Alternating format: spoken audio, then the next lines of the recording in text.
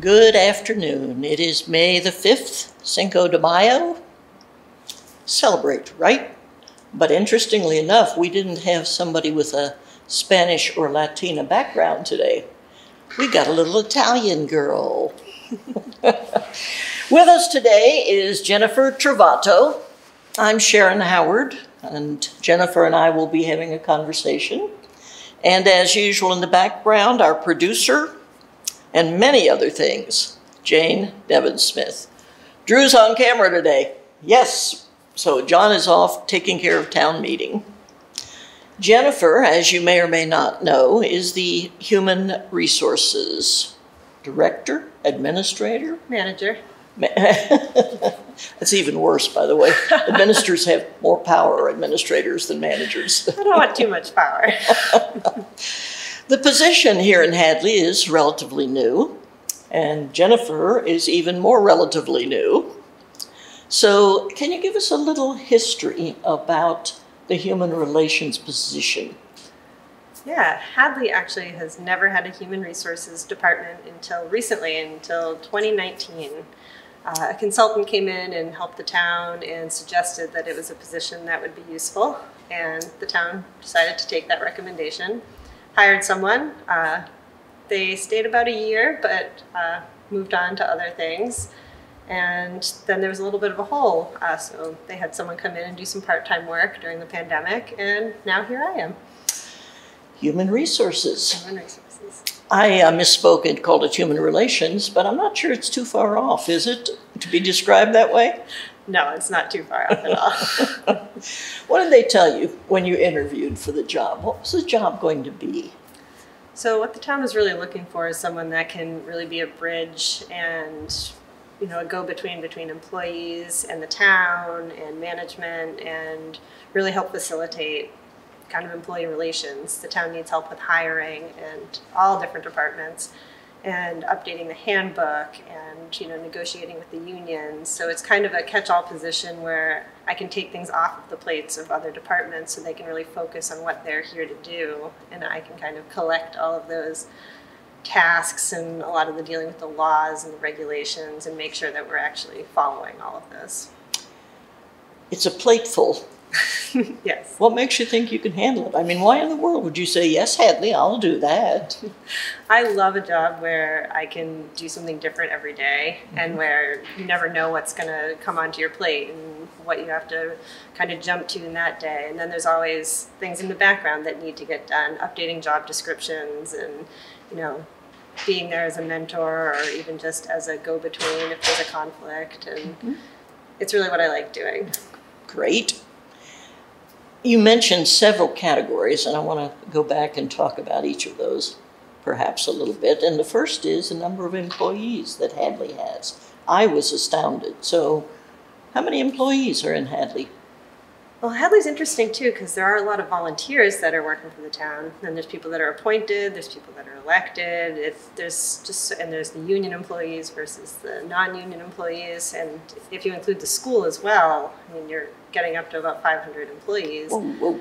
Um, the school does handle their own human resources. We just kind of coordinate and help them with payroll and benefits. But mm-hmm, mm-hmm. the town actually is pretty large. You know, I mean, well, it's a town of what, 5,000 plus? So 10% of it works. Volunteers, elected, appointed, school.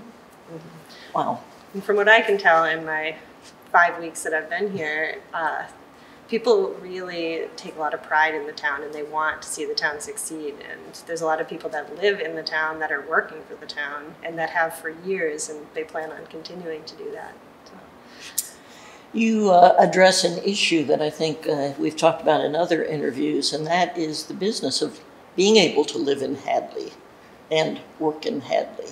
It's something of a conundrum, isn't it? The problem?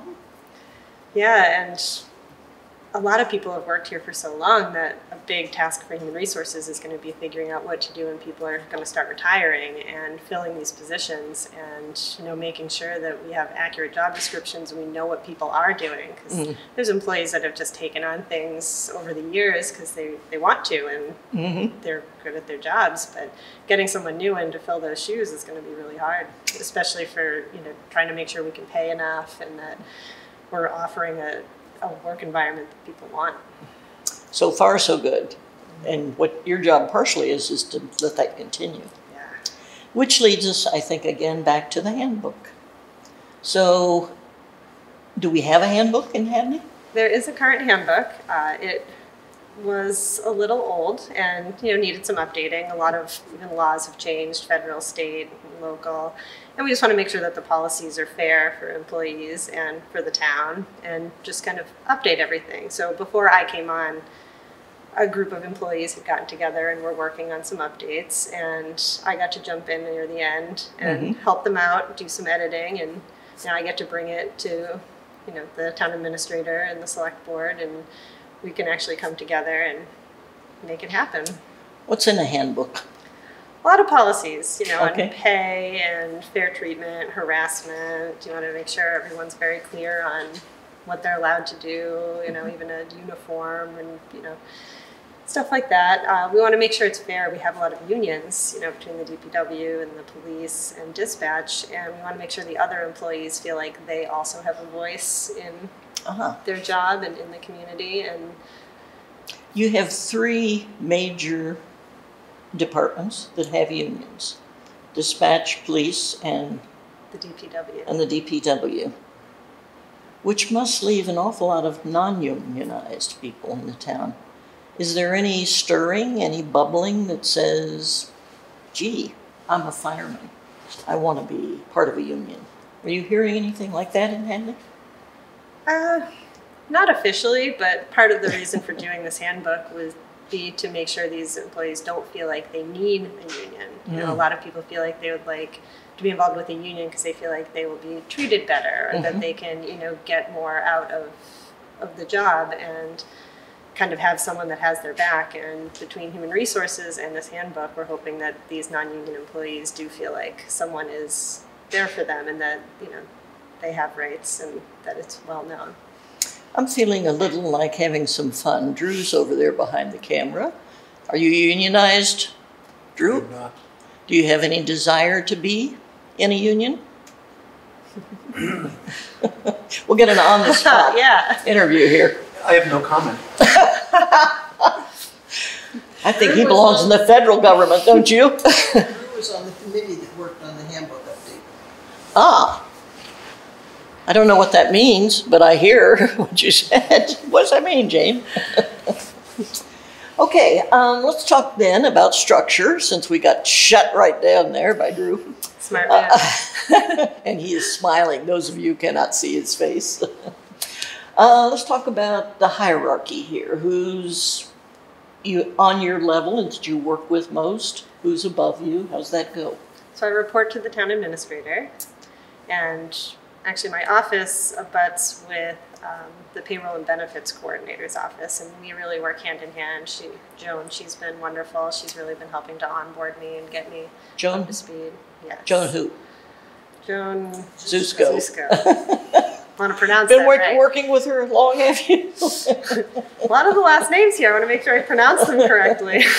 well, I want you to pronounce for me our fire chief. I never can get him and his wife.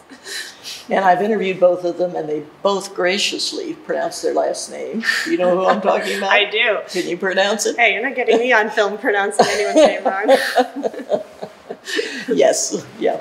Which is why I tease you a little bit about it being a little Italian girl in what is a very Polish uh, Yes. culture here. it's cute. Okay, so you report to Carolyn Brennan, the town administrator. Is there anyone else above you? Well, yes, the select board. Select board is above all. Yes. Select board is God, isn't it? Oh, got it. Okay, and who do you work with besides Joan Zusko on payroll?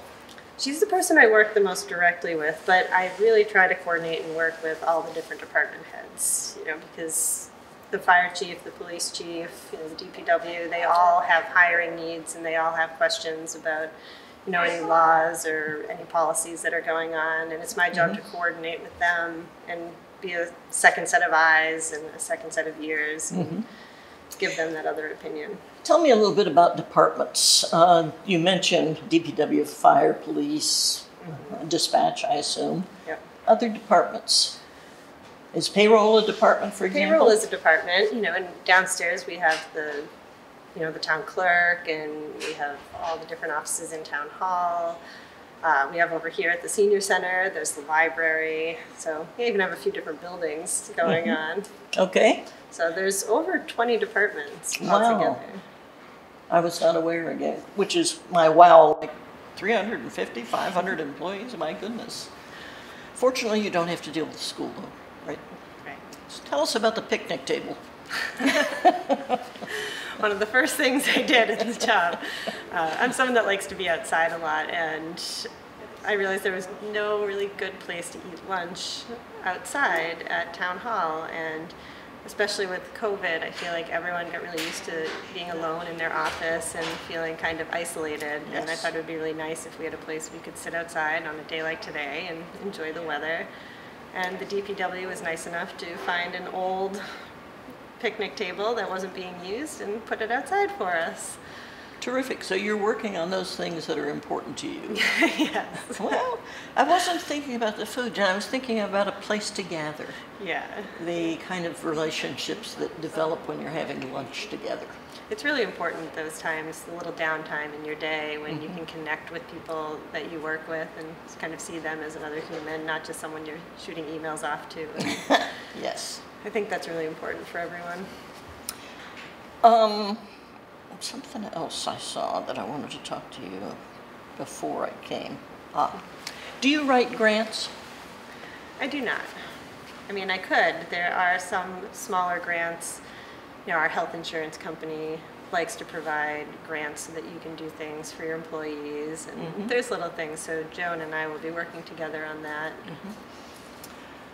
Is there anyone in the town structure that is a, not even a full-time, but part-time grant writer? That I'm not sure about. I just wonder because, uh, you know, there's so many possibilities. And I wondered about the consultant coming in and saying, gee, a human resource person would be nice, but looking for grants would help with the whole budget thing, I would imagine. Oh yeah, Yeah. Anything we can do to help the budget. Got it tonight, town meeting. Yes. um, mentoring, you said. How does that work for you? I mean, I know you're five weeks on the job, but do- are there interns? Are there volunteers? Are there just, when you say mentoring, are you thinking of the town employees? How does that relate to your work? Well, really, there's a lot of employees that like to be able to move up in their career, and you know, specifically, I'm thinking of the DPW, where we like to promote from within if we have job openings, and we want to retain the people we have and keep them happy. And if I can be a bridge to help people get the training they need and find different ways for them to get new licenses or anything else that will help them and make them want to stay with us, Mm-hmm. you know, that's something that I would love to do. Yeah. So talk about talk about who you are that brought you to this point in your own career development. Uh, most of my career has been working in restaurants, actually, Okay. and not for a town. And what I realized was that I really loved the team building, and I liked hiring and building a group that can work together. And I don't like the discipline aspect of it, but I do feel like I am really good at that, and I think that I am fair and firm, and you know, I'm good at letting people know ahead of time what is what's coming and what's going on. And I realized that I could translate that into getting out of the nights and weekends of a restaurant. And A nine to five job? yeah, it's weird having weekends. I'm not used to it yet. What do you do on your weekends?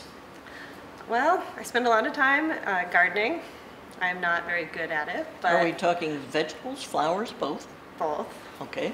Um, I'm new to it, but I'm really enjoying that. I spend a lot of time with my dog, Roscoe, uh, and I'm a big cook. I like to bake and cook, so I do a lot of that in my free time. Uh-huh. Are, are we benefiting from that here in, in that Hadley?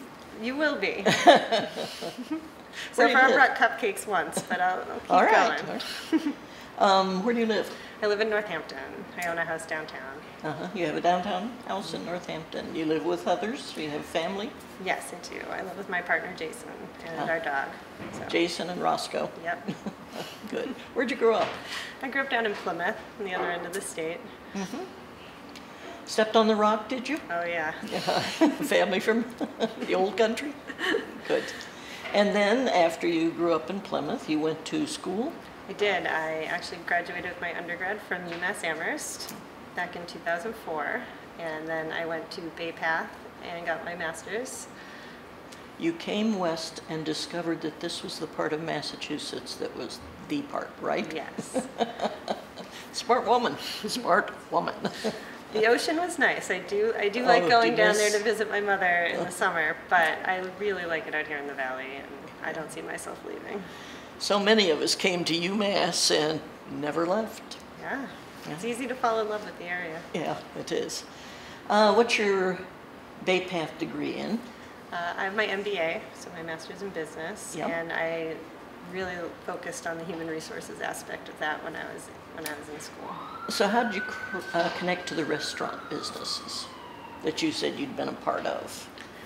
Well, I finished my undergrad and got a job working for the state actually, um, using my psychology degree, and quickly realized I wasn't making enough money uh, to support myself, and got a part-time job working in a restaurant where I very quickly fell in love with it and the fast-paced nature of the work and I like that you can deal with the public and with the employees and with vendors and it just really it kept me busy and on my feet and I really enjoyed it and worked my way up until I was a general manager and And where were you general manager? Any place we would know? uh, I actually started my restaurant career at the Applebee's right in Hadley Oh, uh, way okay. back in 2004 but um, worked for Applebee's for a long time in Springfield and in Chicopee, and then I took over as the general manager of Roberta's in Northampton Mm. years ago, Mhm. and ran that for the last eight years. Eight years at Roberto's. You see a job posting for human resources in Hadley? You must have been looking. I was. Uh, the owners were of Roberta's were very supportive when I told them that I wanted to get out of the industry, and if not, I would have stayed with them forever. They were amazing, but the nights and weekends were really tough. and, Yeah.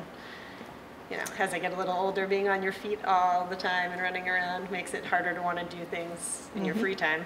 Mm-hmm. So they were very supportive of me and helped me look and offered to look at my resume, and they were just very supportive. So, That's really nice. yeah. Saw this, said this is what I want to do at this point in my life. I thought it would be a good fit. I love the area and the town, and I, yeah, I just decided might as This well is- go for this it. is it? Yeah, this is it. That's lovely. Is there anything about your um, experience so far that has highlighted that you made the right decision? Yes, actually. Uh, you of things, One of the things I've noticed is really just how long everyone who's worked here, everyone that I've met is happy, likes their job, is working really hard. I mean, you can tell everyone really cares about the town. And when I went around on my first day and asked everyone how long they've been here, it was either 30 years, 35 years, I can't even remember when, or within five years, but they were really taking over a job for someone that had retired and had been there for 30 35, 40 35 years. years. So it seems like there's not a lot of turnover in that aspect, and that Mm-hmm. people are really passionate about making this town great. And you know, there's a really good culture already here. This wasn't coming into a job that needs a lot of fixing. You know, Mm. it was coming into something that hopefully I can just help continue and make it better. Have you found a spot where your desire to do team building can be used? Has that come up yet? I wish I had come in a little earlier into the handbook making process because that's the kind of thing I really enjoy. And Drew's nodding his head over there. And I'm looking forward to doing more of that. I know we have a handbook that's for volunteers and for people that are on committees, and that needs some updating. And I'm really excited to get to like make some teams and So how far along are you in the whole building the hand, rebuilding, updating the well, handbooks? the employees did most of the hard work already, and Mhm. right now I'm doing a lot of editing and formatting, and just making sure it looks presentable and is in the right order. Uh-huh. Uh, and then Carolyn and I have a meeting next week to sit down and go over it and see what she thinks, and if there needs to be any edits, and then hopefully we can bring it to the select board. So the next step for the handbook is to the select board, and hopefully they say, gee, this is wonderful. And then what happens? It's printed? Yeah, if we can put it on the website, we can print it up. We're hopefully going to get to meet with most of the employees and let them read it over and Mhm. see what they think. And So in your eight-hour day right now, five weeks, 25 days, how have you been spending your time mostly? Well, the handbook has taken up a good chunk of that. I would actually. imagine, yes. Uh, also trying to make sure that we have updated job descriptions for every position Mm-hmm. and kind of organize that because we want to make sure that we know what we're looking for because we're doing a lot of hiring as well. So Are the we? DPW says that they need some assistance. It's hard to make a job posting when I'm not really sure what we're really looking for. What the and- job and when is. there's not something really already on paper and written down. Or there is, but it was updated in 1997. So Ooh. we just want to make sure everything's accurate and Yeah. So you're looking for DPW right now? we are. Out there in the world? We're What else are you looking for? We're looking for a lot of DPW. Uh, the dispatchers are actually looking for some part-time help as well. Mm-hmm. Uh, we did post that job and have got a lot of positive feedback and good. applicants. So Mm-hmm. hopefully we'll have some new dispatchers coming on. And Will you be part of the interview process? yes, Every interview? Yeah, hopefully. Okay. You know, and I want to be able to be that person for all the different departments because when you need to hire people, that usually means you're a little probably overworked anyway because Mm-hmm. you're trying to cover for some missing holes there. And if I can be the one to post these jobs and if I can do some initial screenings and then just send applicants to the department heads, that'll cut down on some of the busy work for them. Yes. So in a lot of ways, you're a support person, aren't you?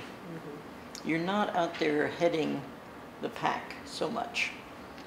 Maybe that's what managing hopefully is about. Yeah. Fill whatever hole needs to be filled. Every Here I day's a little am. different. Yep. what do you need? I love it.